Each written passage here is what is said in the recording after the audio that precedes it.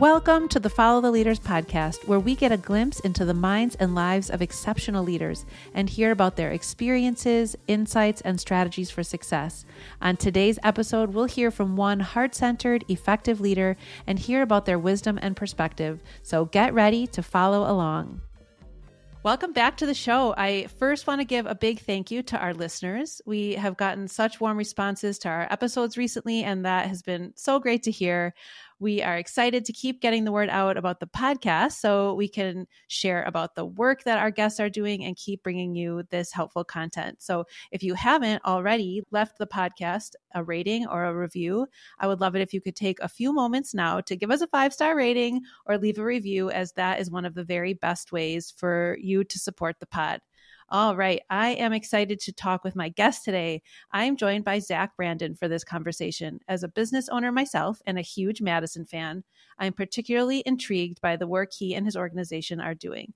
Zach Brandon is the president of the Greater Madison Chamber of Commerce and has served in that role since November of 2012. There, he leads his team in working to increase opportunity, enhance connectivity, strengthen community resilience, and enable responsible governance.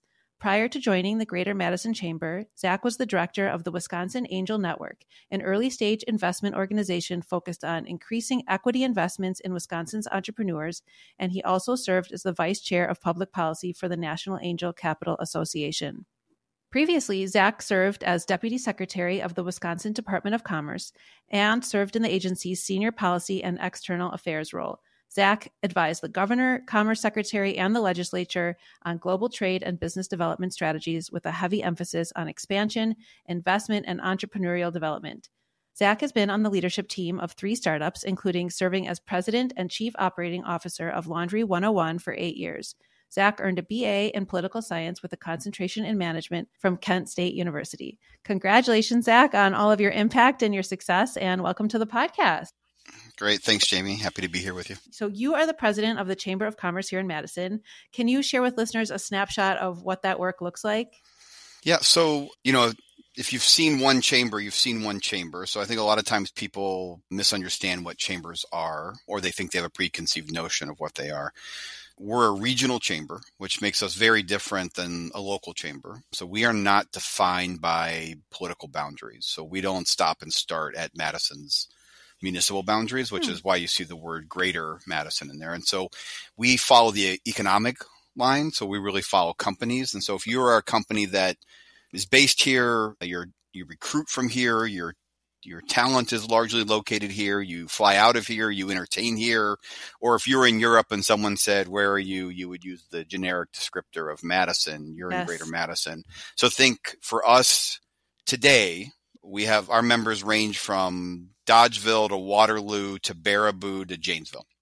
And then everything in between, with the largest concentration being in Dane County. We have more than 1,200 members, so we're a large chamber of commerce. Our work revolves around four core categories it is brand. So, who's developing the brand for the region, particularly the business brand, who's telling the story far from this place. So when you see a, a headline that says the new Mecca for millennials or Gen Z's moving to Madison in numbers that aren't seen anywhere else in the United States, chances are we're pushing that mm-hmm. narrative. We're pushing that story with the hope that a content creator is picking up on it and then we then re-amplify that message and say, look, Bloomberg says, you know, or Business Insider says, or nice. Inc says, but we're generally the ones pushing that narrative. We also did, we can get into this later if you're interested in it, but we also did a, a national perception study to understand what people think of Madison beyond the Wisconsin borders. And so we have been turning Madison's brand away from our traditional brand positioning into a new space that we think is more conducive and um, the younger demographic will have more attachment to. And so we're working on that. You can't do that work if you don't understand the economy. So we focus very much on the economies, uh, both where we have been, where we are, but most importantly, where we're headed. And so that famous uh, Wayne Gretzky quote where um, he says, you know, I don't skate to where the puck is, I skate to where it's going to be. Mm-hmm. Uh, so we're focused on where the economic puck will be, uh, not necessarily where it is today, but we do pay attention to where it is today. Uh, we do advocacy work. Um, so we have three lobbyists on staff Uh, we have two additional lobbyists at the state level, and then we have lobbyists that we work with at the federal level. And so we lobby at every level of government on behalf of business. We're unique in the fact that we don't take government money. So a lot of organizations uh, that do similar work to us, even partner organizations locally, they do advocacy, but they also take money from government. We've never wanted to be in that position where a governor or a mayor or a county exec could say, if you don't support my Y, I'll defund your X. And so we are pure in that sense that we we work for our members, and that's the last piece of our work is helping our membership, connecting our members to new ideas, new talent, new opportunities, new partners. And if you take the first letter of each of those words, so brand, economy, advocacy, and members, you get the word BEAM as an acronym. And so that's how we define our work is BEAM. And when you think about the word BEAM, one, it's a structure you can build upon. It's stable. It has you know, foundational structure to it. This organization is more than 120 years old. And so we are a foundation, we are an institution, and I'm working hard to make sure we'll be here for another 120 years. A beam is also a connector, right? You use beams to connect structures, and so we very much sit at the center of the network. And then finally, a beam is a projection of light. And so it goes back to that who's telling the story of what we do, who we are, and maybe most importantly, who we aspire to be as a community. I love that. Okay, so I have to ask, what do people think of Madison from outside of Madison? I'm just personally curious about it. I mean, I have my like guesses. Well, so here's the interesting thing. So top line, so we did a, a national perception study, so very large study using a company out of London called BrainJuicer, who uses state of the science to both ascertain what is top of mind, but even then what's below that and what do you feel versus what you think. So when we ask people, what do you think? First response is 70% of America has no top of mind impression of Madison. So first you would say, well, that's not great, but it's actually a blank canvas because yeah. there are other places. I mean, Flint, Michigan, you know, and I think Flint's a great place, but it's got a brand now right. that it's got to work past. And there are plenty of San Francisco's developing a different brand than it had three years yeah. ago. Mm-hmm. And so you have to be careful because brands can be positive and negative, or impressions can be positive and negative. And so we've got a blank canvas to work on. But when we use the science to really drive down into their gut, because everyone's heard something about Madison. You've seen it on a TV show or you read something or you know somebody who knows somebody. You have some impression. We just have to pull it out of you. The, the majority of America uh, overwhelmingly sees us as the idealist archetype. And so there are 12 archetypes in branding. The in, idealist is Pleasantville, right? It's a great place. It's the place where you'd want to raise your family. It's sidewalks and white picket fences, it's it's ideal. There are two challenges was that as a brand proposition. One, we've been selling it since 1948 when Madison was on the front cover of Life magazine with a, this beautiful woman and her beautiful baby that said, "Is Madison the best place to live in America?" We've been selling that narrative for 75 years. The challenge with it is when you look at what Ann Arbor's brand is and what Des Moines' brand is, what Lincoln, Nebraska's brand is, they're all the same. So it doesn't differentiate us mm. when it comes to being a Midwest second tier city. The other challenge is, is that what we found out is it doesn't resonate with people of color or with young people. They don't believe it, but they believe something different. And that is that this is a place of opportunity. This is a place where you can be part of something bigger than yourself. This is a place where uh, you can be curious. This is a place where you can make a life, make a career, and make a difference. This is a place where experiences matter. And those are the seeker brand.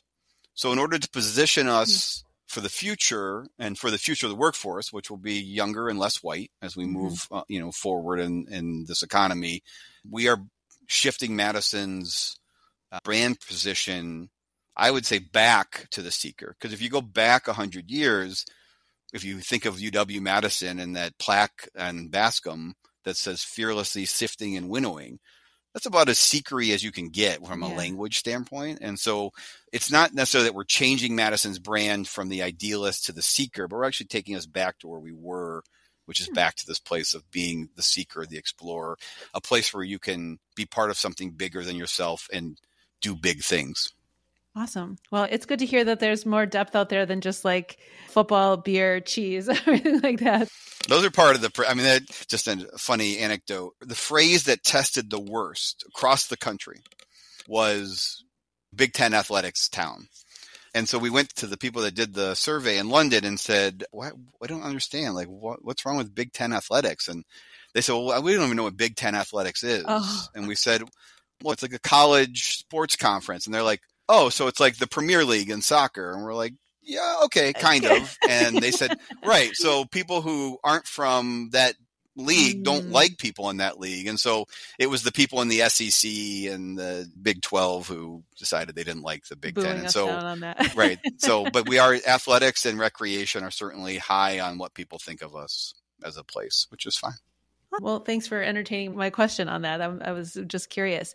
Okay, so as you run this organization, if you were to snapshot, I'm sure every day is different and probably every week is different. But what does your job entail as the leader of the organization? What what does that look like? Yeah, I mean it's an interesting it's an interesting job. I'll say that. I don't. There's no other job like it in this region, in the fact that we are guided by a board of nearly 50 CEOs. So pretty much name any prominent company in mm-hmm. Madison mm-hmm. and their CEO or market leader is on our board. Right. Mm-hmm. So we have an apex board, probably the apex board in Madison. There, there aren't too many other boards, if any, that rival the companies and the people that are on our board. And so on one hand, you are working with some of the smartest, most successful people in the region and helping them individually and organizationally do better but you're also using them to help us be better right? So it's a two-way uh, partnership.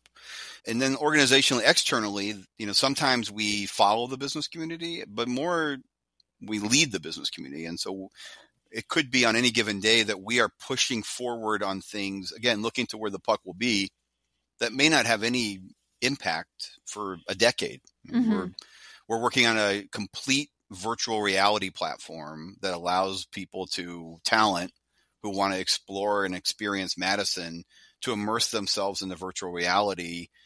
That's betting on virtual reality and augmented reality and mixed reality will be a much more prominent thing. I mean, it's growing already, but we're banking on 10 years from now that that will be, you know, a form of communication that people are used to and committed to. So we're investing now for what might come in the future.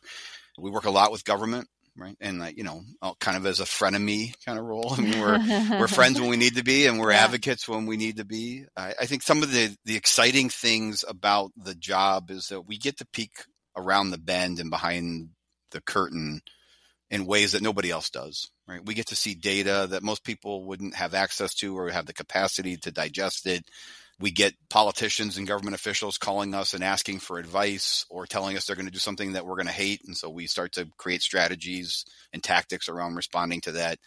But it's quite a privilege to sit in a room with some of the smartest business minds in Madison and both hear from them and lead them when it comes to how do we take all of that work, all of that intelligence and wisdom and channel that coordinated action for collective good, which if you go back to the founding of this organization, that is what is about. Mm-hmm. I mean, the, mm-hmm. this organization exists because the business community realized that we are stronger together.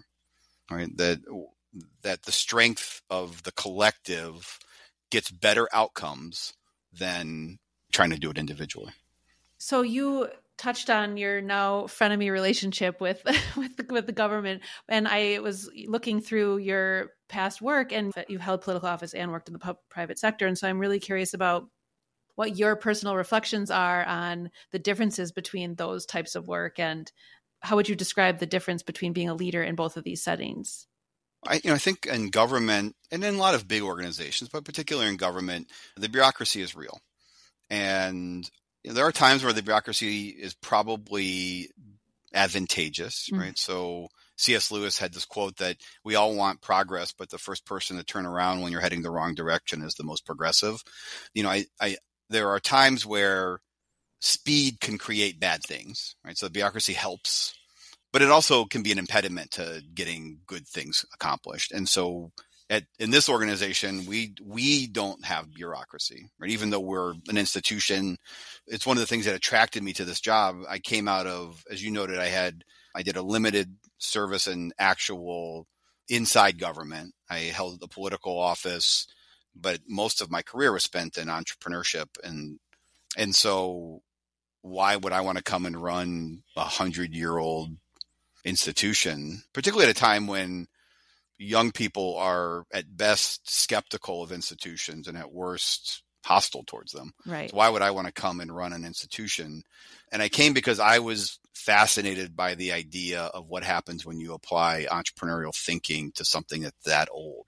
Hmm. Like does it does it sit down? Does it break? Does it speed up? Does it do nothing? And so I came to this job with that single question in mind of can you apply innovation and entrepreneurship to something that is so rooted and stable that it has no incentive to move or to change and what happens? And you know what i learned is you know there isn't a lot of bureaucracy in, even in a century old institution um, there's a lot of institutional knowledge there's a lot of experience but it actually can speed up it can be nimble it can move quickly it can fail fast and fail forward and be okay with that, which I would not have guessed when I first hmm. started mm. out. And so that's not something you see in government, right? And so the difference between what I do today versus what I had done in the past feels a lot more like when I was an entrepreneur and small business owner than it ever felt like when I was in politics. But being in those roles has given me insight into behaviors and process and to understand and navigate the bureaucracy, which I think allows us to be a better organization. And if you look around our office, we've got a lot of people that have spent time in politics and in government, even if they're not necessarily in advocacy roles, because at the root of this organization, we're looking for great communicators who are passionate about making a difference, who want to be to service to their community, but also understand that, you know, politics is the art of possible and that's our job. Every day we get up and go to work and focus on the art of the possible with some hope and some curiosity to what makes us scared might be the next best thing that we tackle. I'm curious, you mentioned that your singular question when you started this job, it's really very entrepreneurial. Like you really probably channeled that part of you. And I'm just curious about you as you've switched between opening your companies back in Laundry 101. I I recognize that name. I was like, oh, I went, I, I was in Madison way back then too, and so I was like, oh, awesome. But then you went into working in government. Where do you think that comes from? That sort of willingness to. I mean, that's a big testing of waters to take on a job of this mm-hmm. magnitude. Is that something that risk taking something that you learned along the way that you developed was just inherent in you? I actually started with the word that you started this whole your your question with, which was you said I'm curious, and I think that's probably the root of me. Mm. I'm just curious. My first job was as a car mechanic mm. apprentice, and I became a car mechanic. So, you know, time I was 16, I was rebuilding cars, but I wanted the job because I was just fascinated by what made cars run.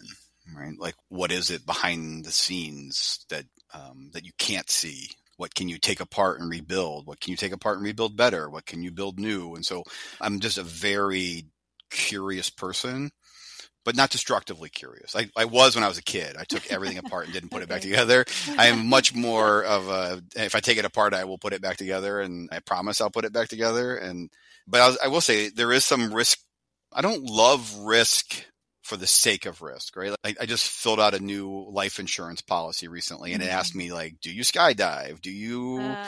you know, cliff jump? And like, you know, and I don't do any of those things. So I'm not, I'm not an adrenaline junkie. I'm not just chasing risk for the sake of risk, but I'm also not afraid of it. And in fact, the, after I was hired, I had to come in and give a speech to the board. And so here, here are, you know, 40 some 50 big name CEOs sitting in a room, all sort of staring at the end of the big, long boardroom table with me at the front. And the first thing I said was, We're going to fail.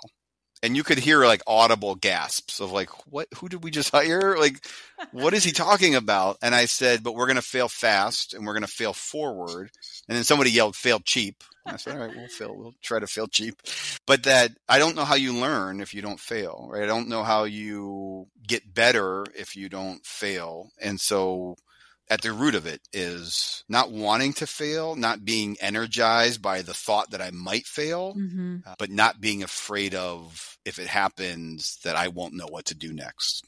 So, do you think that as you have sort of moved around. I mean, a lot of times you see a leader that just kind of moved up, but you moved up and around in different sectors and different types of jobs. But do you think that that sort of willingness to take not destructive risk, but that willingness to take risk is how you continue to grow into new positions of leadership even as a child while you were curiously taking things apart were you also naturally drawn to leadership like did you have a whole crew of kids coming over to take apart the, the things with you that's a good question. To the first part of your question, careers aren't linear, mm-hmm. right? Even in Japan, where they had the most linear career paths in history, are even less linear today. In fact, Kaaren Hanson, who was the former head of design and innovation for Intuit and Facebook, who actually is a graduate of the Madison Public Schools, we brought her back to Madison to do a talk, and she talked about uh, careers being jungle gyms that you hmm. might go left, you might go I right, you might you know might go up, you might you might fall, right? But then yeah. you get back up and jump back to where you were.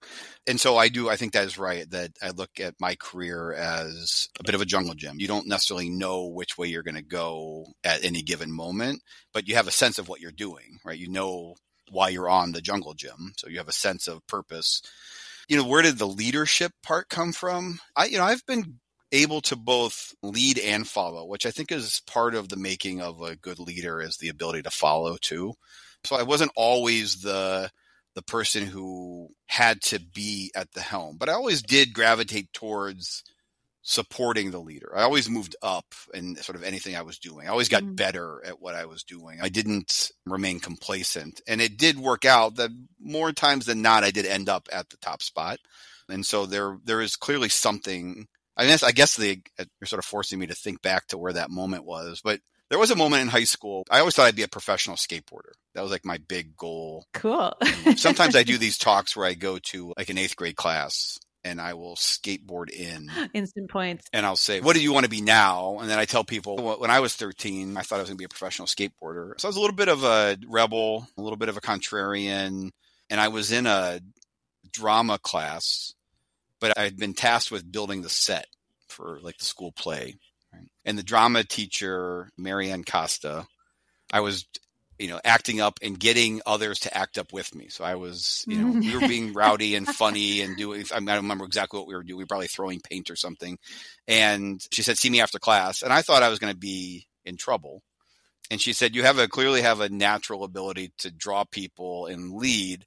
I think you should become the pep rally MC and I was like, mm. I like, I'm not the school spirit guy. Like, I'm not like the person that goes to every football game. I'm not the male cheerleader. But she convinced me to do it, and you know, I did it for a couple of years. I was good at it. It was probably the genesis of my comfort in public speaking. I put me on any stage, anywhere, in front of any room, and you know, I can do it. And so she saw something in me that I was probably to answer that question is I think she probably more so than many people, although there've been a lot of people in my life that have directed me and get guided me and mentored me, but she pushed me towards saying take that energy, that a little bit of unruliness and use it for good and get a couple thousand students to scream at pep rallies and have fun. And so I did it. Well, when you were using the jungle gym metaphor, I was thinking about how it sort of becomes a jungle gym that as you play on it, it also builds. You know, it like mm. gets taller as you go, and then you kind of look down and you're like, yeah, oh wow, yeah, each of those steps led to the next. And you mentioned being the MC of the pep rally, and I saw that you recently were the MC of a conference or something. of South by Southwest pitch, yeah. which is the the largest pitch competition for startups in the world. Yeah. So that jungle gym grew. that, that jungle yeah, gym definitely grew. a bigger stage. It went from you know a couple thousand screaming teenagers to some of the most prominent startups in the world and some of the biggest investors in the world all in the same room. Yeah, that was fun at at South by. I've been a, a coach there for years, so I coach startup companies. Cool. Um, and then I ended up being head coach for a couple years, and then last year they called and said, "Do you want to be the MC?" And I said, "Wait." I've spent all these years doing all the work and getting no credit. and now I'm going to do no work and get all the credit. Sign me up. So I just got I, all I had to do was hand out humongous checks, like liter- both in dollar amount and in size. I just got to hand out big checks and get credit for managing the show flow. You take that win for sure. yeah, I did.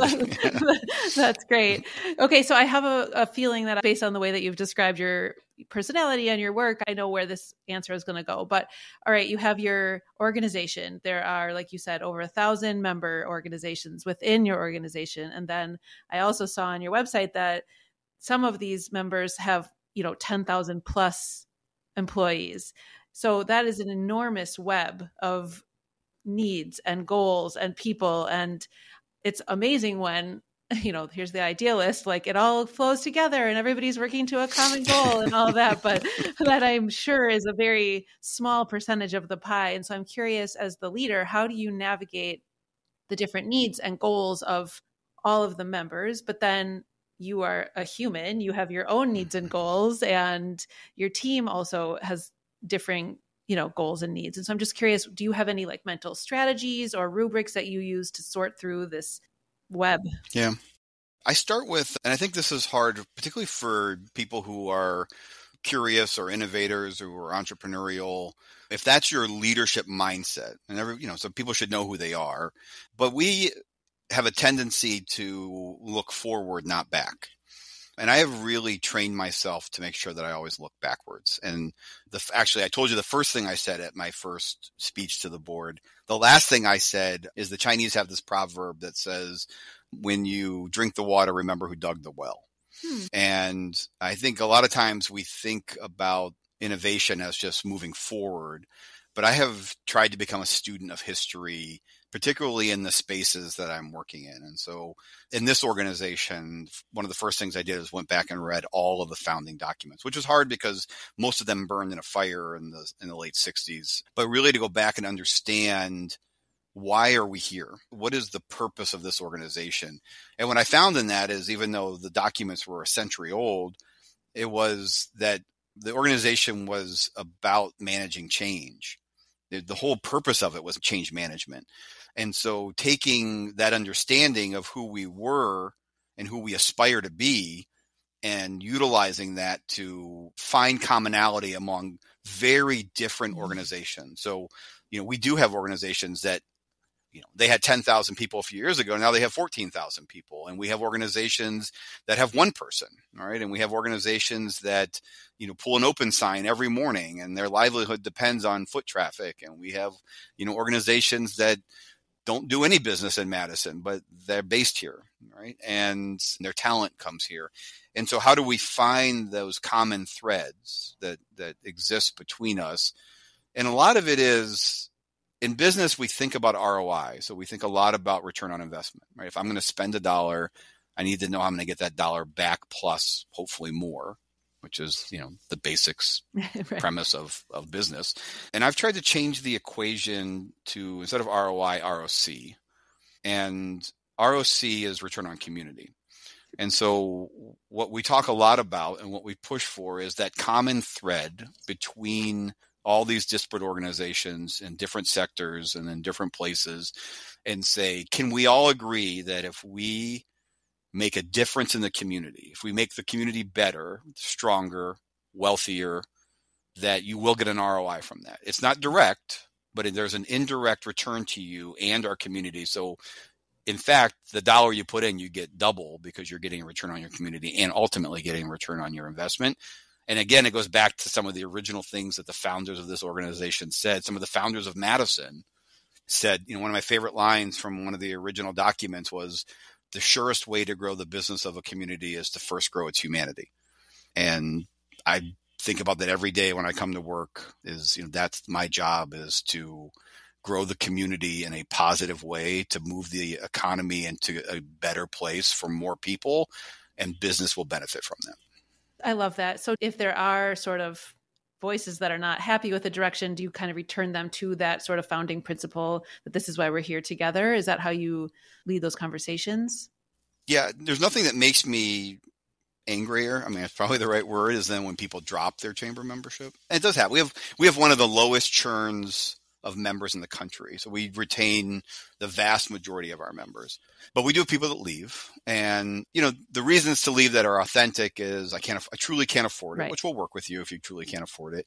You know, I'm going out of business, which we hate to see. And, you know, chamber members go out of business a lot less than non-chamber members. And I think that's because you're involved in the community, you're mm-hmm. investing in the community, you're people see it. And so we rarely have companies that truly just go under, but it does happen. Mm-hmm. People leave the region. Like I just, I came to try to do business in Madison and it's just not working for me. So uh, I'm leaving the region.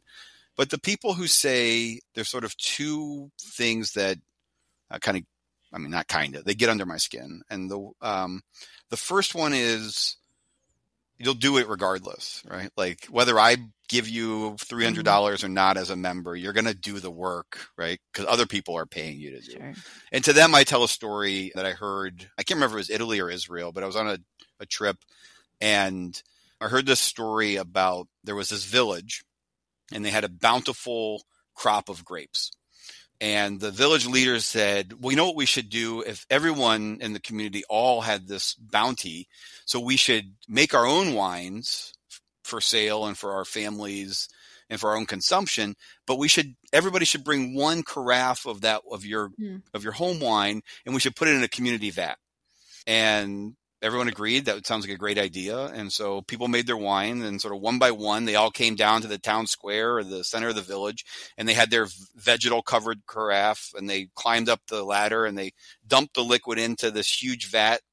And on the given day, when the village leaders convened everybody into the center of town, they pulled the spigot and out came water because everybody thought I can just dilute it a little bit and it won't matter and it did matter. And so, you know, if everybody took that attitude of, oh, I can just not do my part and dilute it a little bit, what will happen? And uh, something different, maybe mm-hmm. bad, will happen. And then the other is the people who just fundamentally disagree with us on a policy position. And to them, I say, you know, it is coordinated action for collective good right? And so, yes, you are part of a coordinated action. You are agreeing to set aside your own ideals and maybe interest in order to get something better that helps all of us.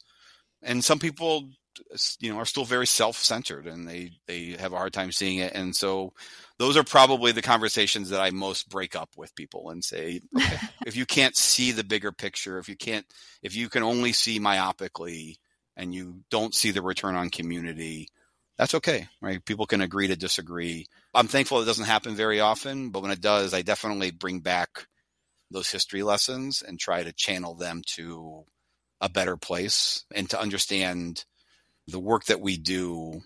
You know, my grandmother once said to me, if you meet somebody and you are 75% compatible and you have spark, marry them. Okay. And I would say the same thing about the chamber, right? If you are majority compatible it. with our positions and there's spark in the work that we do, you should marry us. Okay. All right. That's a that's a great pitch. I have to say a lot of my leadership background started because I was very involved in camps, summer camps growing up. Mm-hmm. And that was a big part of my childhood. It's a big part of my adulthood as one of my work projects is that I direct a summer camp. And I am sure that I heard that wine story at an overnight camp once, but without the wine. with it, they must have changed the story, or it's some right. other tale that it was some other. Right. But yeah, that's that's that is a great it's, one. It's the horror of s'mores without marshmallows. Yeah, something like that. It was. Right. It was I don't think. Yeah, it was something like that. All right, so. That makes total sense. And I love the way that you approach that. And yeah, sometimes you got to just part ways with someone that you don't see you know it happens it does happen.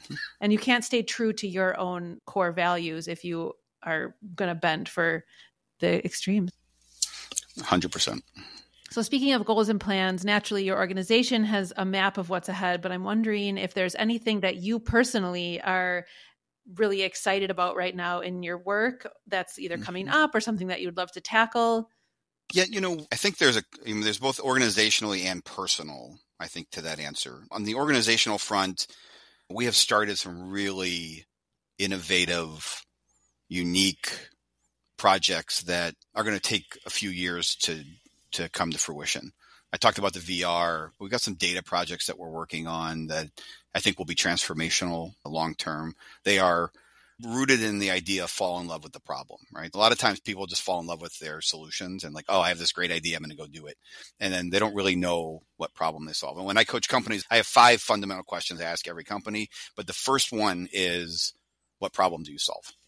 And you better have an answer, right? Yeah. Because there's no reason. I'm not going to ask you the second question if you can't answer the first question.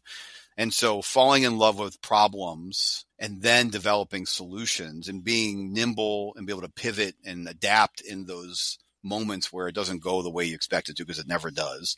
There's a lot of really interesting excuse the language, badass projects that we're dealing with or that we're building here that I'm excited to see them come to fruition in the next couple of years. On a personal level, my curiosity has taken me down a bit of a rabbit hole of trying to understand the balance of dissent and conformity when you are trying to lead a team. Hmm. And I have a theory that the balance is actually tipped a little bit more towards the rebel than you would think when it comes to productive and fast moving organizations that want to accomplish big things.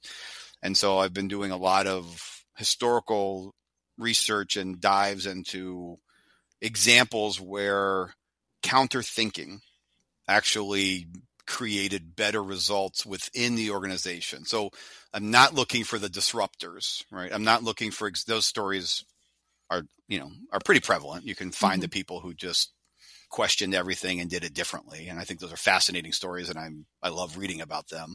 But what I'm intrigued by is what about the person who's all in on the mission, right? They are true believers in the work, but they think slightly different.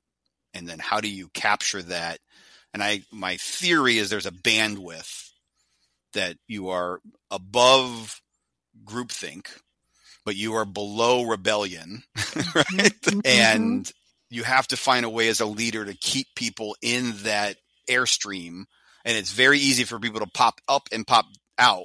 If you're not careful totally. and popping up or out can be really damaging and risky. And so most leaders, you know, will probably have a little bit of aversion to it, but I am, I'm fascinated by the, the examples of where that has worked. And turns out, you know, in history, in government, in the military, in religion, there are some really, really great examples where true believers who pushed conventional wisdom, not as a rebel, but as a believer, accomplished some pretty amazing things. And so I'm, I'm spending some time with that. I'm a whiskey collector. And so I love spending time collecting whiskey. What else on a like I told you, I, I uh, grew up as a car mechanic, so I've always been a car person. I know just about everything about cars, how they run. If you came to me and said, you know, my car's making this noise, I'd probably first make you repeat the noise just so I could laugh and just, you know, as you like, as you know, I used to do that when I was, people would come in and say, my car's making this noise. And I'd say, what's the noise? And they'd go, vroom, boom, boom, boom, boom, boom, vroom. And I, then I just start laughing and they're like, oh, okay. I but I just bought a EV. And so completely, I mean, I, you know, I understand the concept of four wheels rolls forward and rolls back. But I don't really know that much about what makes the motor run versus what makes an engine run. And so probably spending a lot of time nerding out on understanding how how electric motors run versus gasoline engines. Well, I have to say I'm very curious about where your curiosity about you were talking about the rebel and the conformer like where where you settle on that and what you do with that so i'm subscribed to updates on whatever you do with your findings on that because that's Great. really interesting to me as well all right i have a few wrap up questions that are a little more okay.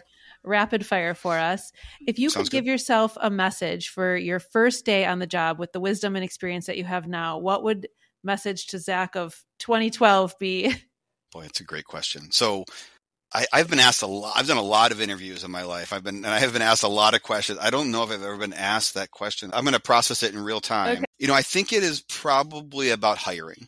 I would say be slow to hire and fast to fire would be what I would have, what I, what I would tell past me is, you know, it's okay. Not everybody is, the right person for the job and it doesn't make them a bad person doesn't make you a bad leader but be a little faster to to let people go who don't fit what you're trying to accomplish. Don't try to bring them along if they don't want to or can't.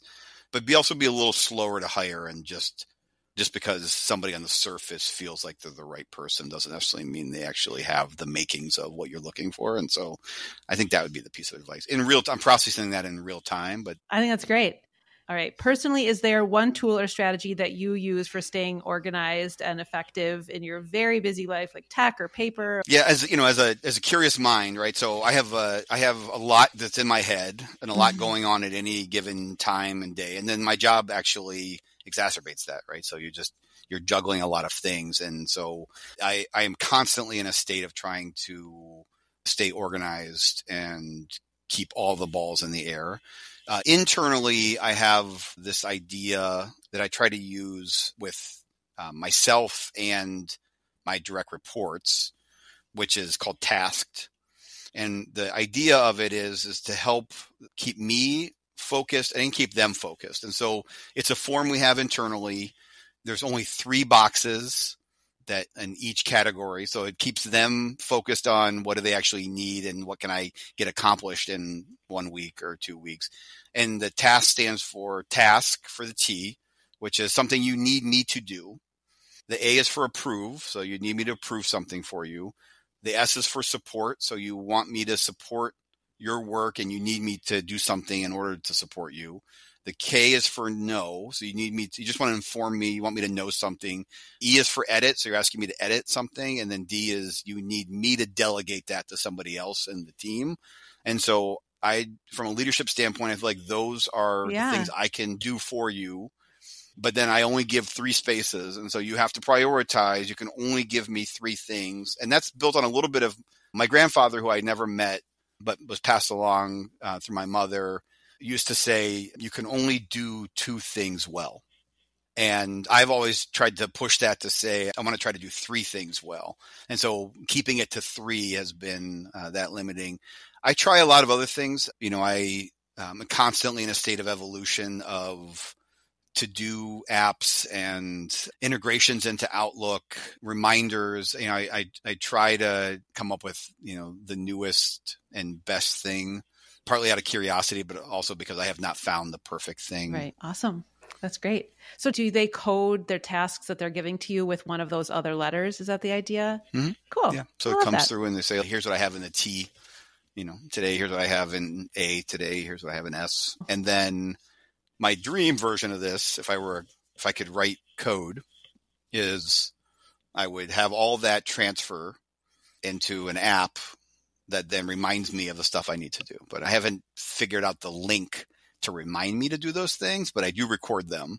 Okay. And keep track of them at least on on well not on paper anymore, but on my reMarkable yeah, device. okay. Well, I, I, we, this would take us on a totally other rabbit hole, but I, I, I think I have the app. All right. It's called Notion.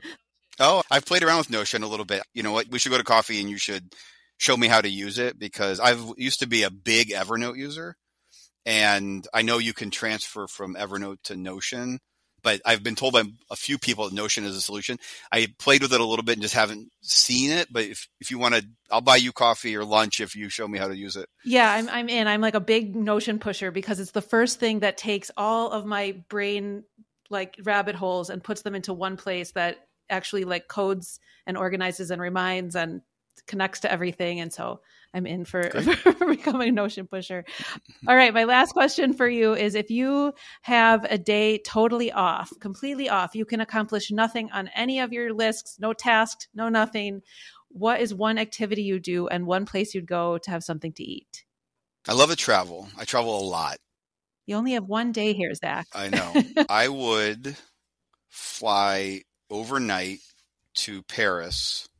I would wake up on the plane, I would grab a cappuccino and I would have a breakfast looking out some avenue, some street that just and people watch and then get back on the night flight and come back.